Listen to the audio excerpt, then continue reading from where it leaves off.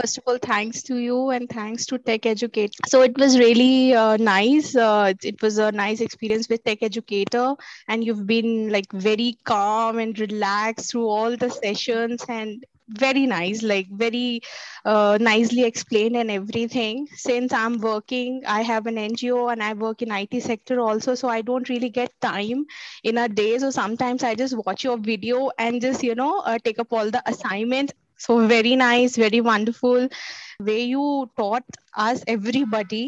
Uh, you know, kept me going. You know, I don't want to miss this session.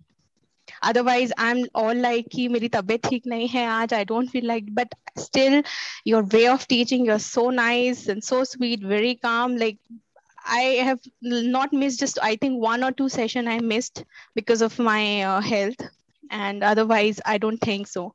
It's very nice experience and very uh, wonderful all everybody in, in our class. Thank you so much